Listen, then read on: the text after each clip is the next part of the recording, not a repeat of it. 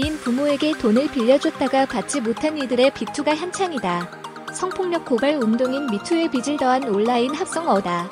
온라인 커뮤니티 사이트의 가수 겸 연기자 비 36의 부모를 고발한다는 글이 올라왔다.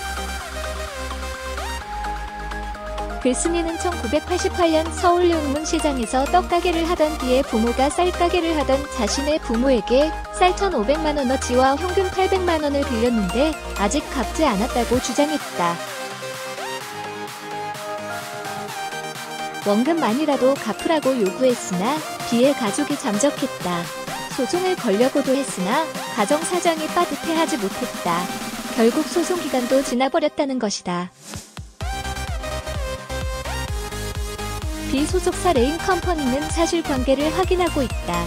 빚투는 최근 래퍼 마이크로닷 25의 부모가 촉발했다. 과거 제천에서 젖소 농장을 운영하던 마이크로닷의 아버지 61는 축협에서 수억 원을 대출하면서 지인들을 연대보증인으로 세웠고 또 다른 지인들에게도 상당에게 돈을 빌렸으나 1998년 돌연 잠적한 것으로 알려졌다.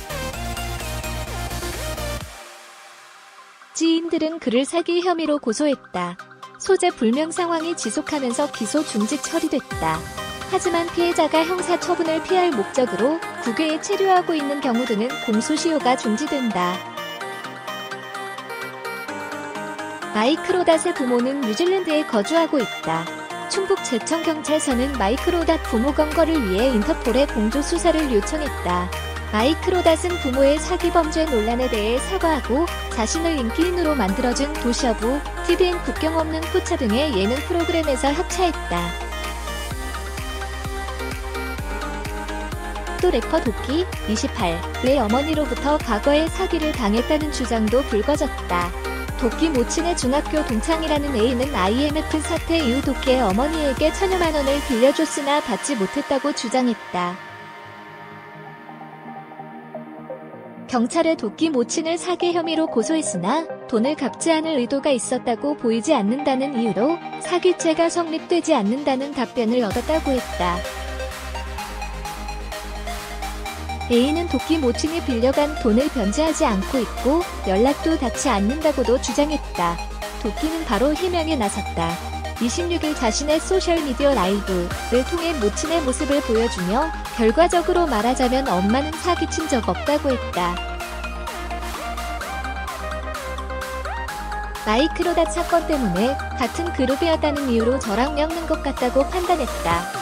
도끼와 마이크로닷은 2005에서 2006년 최연소 힙합 듀오 올 블랙이라는 팀으로 활동하며 주목을 받았었다.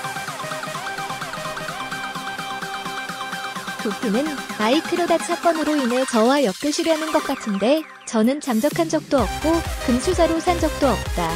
상대를 잘못 골랐다고 주장했다. 돈은 제게 오시면 갚아드리겠다. 그 돈은 매한달 바깥밖에 안 되는 돈이라고 피해자를 무시하는 발언으로 반감을 쌓 역풍을 맞고 있기도 하다. 비의 부모가 돈을 갚지 않았다고 주장한 이는비와 함께 마이크로닷 도끼를 언급하며 빌린 돈 또는 사기로 번 돈으로 자신들이 떵떵거리면서 TV에서 웃는 모습을 보여주고 있지만 피해자들은 억울함으로 눈물을 흘리며 평생을 힘겹게 살고 있다고 호소했다.